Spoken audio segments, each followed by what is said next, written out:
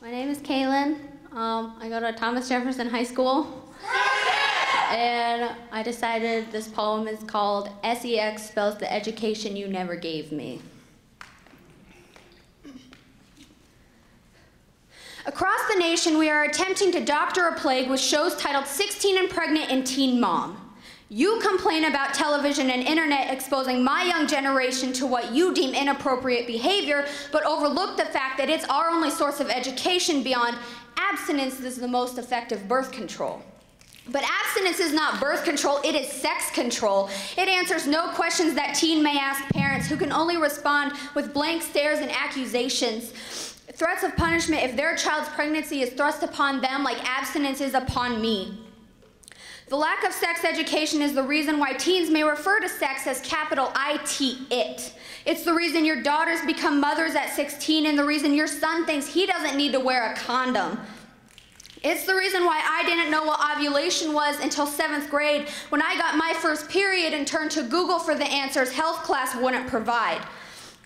It's the reason both men and women are embarrassed buying tampons and pads, looking over their shoulders as they pick the boxes off the shelves and crossing their fingers that the cashier won't be an attractive one. But at Walmart, the chances are thankfully slim.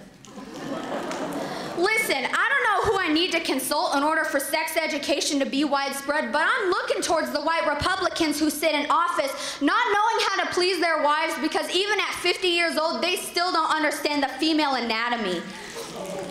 With sex education, maybe boys will stop assuming that urination and ovulation come from the same place. Perhaps they will understand what a period is and how long it lasts. Maybe with sex education, sex itself wouldn't be a word we have to whisper behind closed doors and drawn curtains. Maybe we wouldn't hush our children when they ask what SEX is, because SEX is not a stork dropping babies on your doorstep. It is not the birds and the bees. It is reproduction in the simplest of ways. And instead of shying away from telling curious adolescents, we should understand that teenagers are the questions, whereas adults are the answers.